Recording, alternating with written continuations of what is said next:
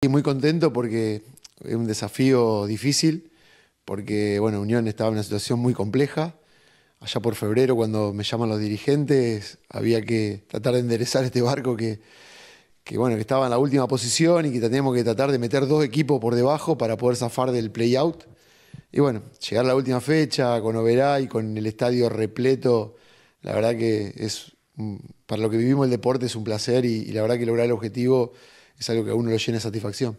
Es una institución, eh, no solo en el básquet, el fútbol, sino hay otras disciplinas que tiene el club, que se respira deporte todo el tiempo, donde te cruzaste con otro, otro entrenador de elite, con lo cual es una institución que si tiene un proyecto un poco más ambicioso, serio, eh, el básquet puede mantenerse por muchos años en la Liga Nacional.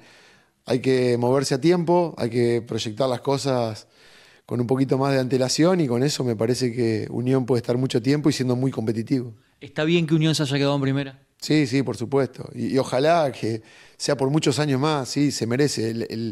la gente acompaña no solamente el partido ayer, hubo otros partidos en la temporada cuando vino Boca, que no me toca estar a mí, pero sé que la gente acompaña, eh, es una institución muy prestigiosa y ojalá se mantenga muchos años más. ¿La idea cuál es ahora? ¿Quedarte en el club, tratar de elevar un poco la vara con, todo lo que ya has sembrado? Imagino que va por ahí, ¿no? Seguramente serán horas de, negociaciones, pero bueno, va por ahí la idea. Sí, sí, tengo que sentarme a, hablar con los dirigentes nuevamente, tratar de ver qué es lo que quieren hacer y, y ojalá se pueda armar algo más ambicioso para no estar sufriendo hasta la última consecuencia.